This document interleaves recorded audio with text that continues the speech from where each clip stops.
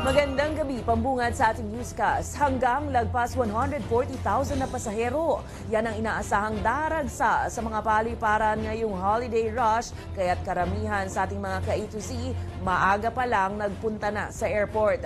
Samantala, sinabi naman ni Transport Secretary Bautista na tukoy na nila ang pagkakakilanlan ng taxi driver na nangongontrata sa foreign nationals at ipinagbawal na itong makabiyahe sa airport. May balitang A to Z si Ace Cruz.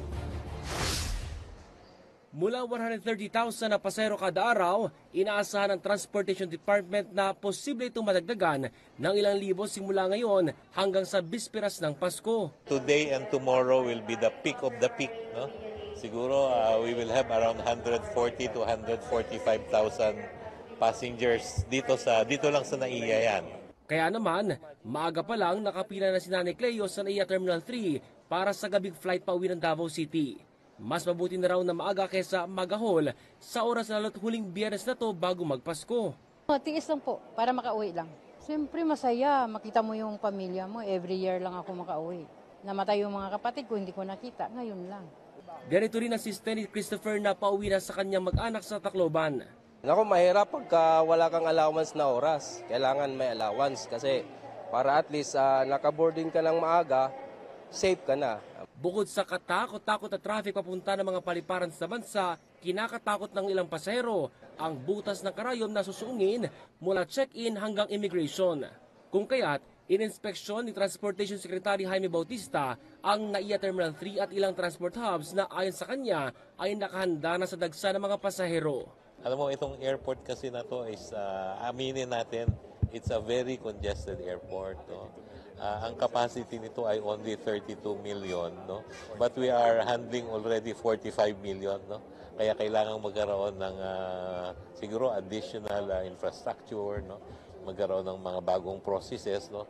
And yan yung uh, sinimulan ng gawin ng management ng uh, Manila International Airport, no?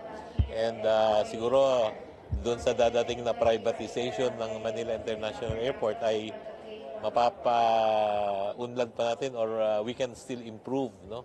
Dumaragdag pa sa tagal ng flight ng mga uuwing probinsya o kaya naman papuntang abroad ay ilang delays. No, alam mo naman, hindi naman naiiwasan ng delay, no? Ah, kanina, merong isang flight na delay, no? Pero ang mga airlines naman ah, in coordination with MIAA ay ah, meron silang mga ginagawang programa para maiwasan or mabawasan yung ah, ah, hirap ng ating mga pasahero, no? Ah, kasi maraming causes ang delay, no? Yung iba diyan because of technical problem, no? Ah, kasi kailangan ah, hindi naman natin pwedeng i-compromise yung ah, safety ng ah, mga pasahero, no? Gayunman, kung pagbabatayan ng on-time performance ng airline companies, Ah, maganda rin naman yung ah, on-time performance natin, ano? Merong mga ibang airlines na nakakababa, no? Pero generally yung ah, yung international flight natin ah, maganda yung on-time performance, no? Sa domestic medyo bumaba tayo ng konti, merong isang airline na ah, nahila niya yung ah, pagbaba ng on-time performance dahil meron siyang ah, aircraft na hindi nag-ooperate, no? pero kung hindi naman daw mapigilan ang ilang delays, may apela dito sa Bautista. Dapat ah, yung mga operators ay alagaan yung mga pasahero, no?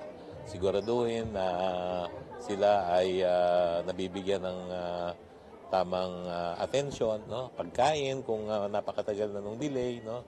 Ah, kung minsan naman ah, kailangan kung hindi matutuloy yung kanilang biyahe, voyage, eh, dapat mag-i-refund ng maayos, no? So, ang ang instruction namin ay ah, talagang total passenger care para sa lahat ng pasahero sa lahat ng sektor ng transportation. Samantala, sa isyu naman ng kontratang taxi sa ilang foreigners na umabot ang pasahe ng halos 10,000 pesos. Tukoy na raw ang pagkakakilanlan nito at binand na rin ito sa airport. Habang inaasang magsasagawa ng investigasyon dito ang ilang attached transport agencies. Kinausap na rin yung operator, no? Ah, kinancel na rin natin yung kanilang ah, permit dito sa NAIA, no? And ah, na-endorse na rin namin sa LTFRB yung yung kaso, no? So, ang balita namin yung driver ay nawawala na uh, or baka bumalik na sa probinsya. No? Siniguro naman ni Bautista ang kahandaan ng iba't ibang transport hubs sa inasahang dagsa ng pasero mula ngayon hanggang sa susunod na taon kung saan magsisiwian naman ang karamihan. Para sa Balitang A to Z, Ace Cruz.